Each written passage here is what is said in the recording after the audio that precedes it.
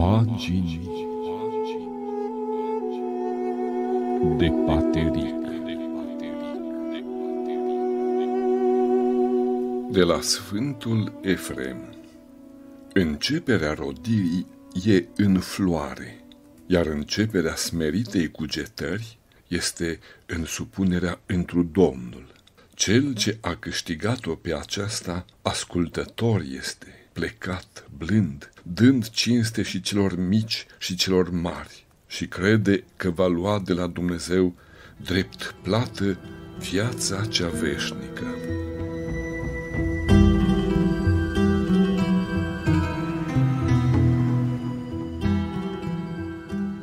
Un frate oarecare a zis, aceasta am cerut-o de la Domnul ca atunci când fratele meu îmi va zice să fac un lucru, să zic gândului, acesta este Domnul tău, ascultă-l pe dânsul. Iar dacă și alt frate va zice și el, acesta este fratele Domnului tău, ascultă-l și pe dânsul. Și dacă și un copil îmi va porunci ceva, să zic, ascultă pe fiul Domnului tău. Și așa împotrivindu-se gândurilor străine, face toate fără tulburare, ajutându-i lui harul, pentru că avea smerenie.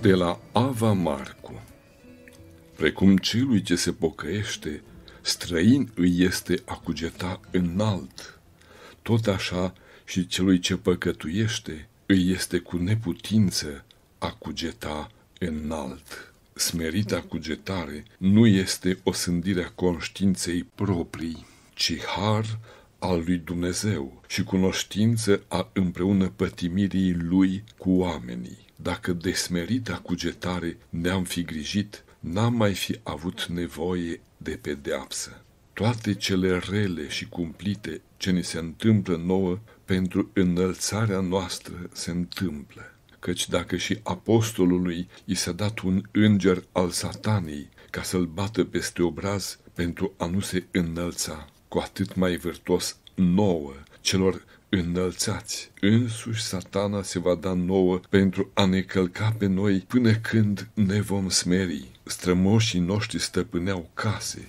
aveau bogății, aveau femei și purtau grijă de fii și vorbeau cu Dumnezeu pentru nesățioasa lor smerită cugetare. Iar noi de lume ne-am despărțit și bogăția am defăimat-o și casele le-am lăsat și ni se pare că stărim aproape de Dumnezeu, dar de dragi suntem bagiocoriți pentru mândria și înălțarea noastră. Cel ce se înalță nu se cunoaște pe sine, căci dacă s-ar fi cunoscut pe sine pentru a sa nepricepere și neputință, nu s-ar fi înălțat.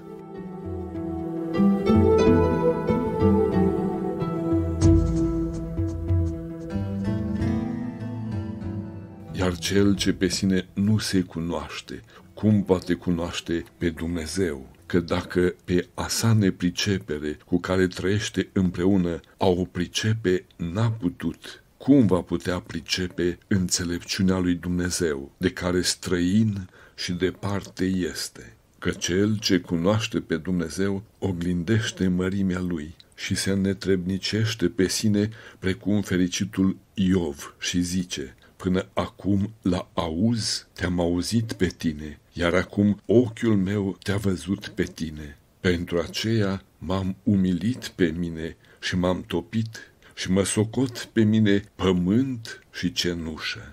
Deci, cei ce urmează lui Iov, aceștia văd pe Dumnezeu și cei ce îl văd, aceștia îl și cunosc pe dânsul. Deci și noi, de voim al vedea pe el, să ne netrebnicim pe noi înșine și smerit să cugetăm, că nu numai din împotrivire pe dânsul să-l vedem, ci avându-l într noi locuind și odihnindu-se, să ne desfătăm de dânsul, căci astfel nebunia noastră într-o înțelepciunea lui se va înțelepți și neputința noastră într puterea lui se va împuternici, întărindu-ne pe noi în Domnul nostru Isus Hristos, Cel ce ne-a învrednicit pe noi de darul acesta.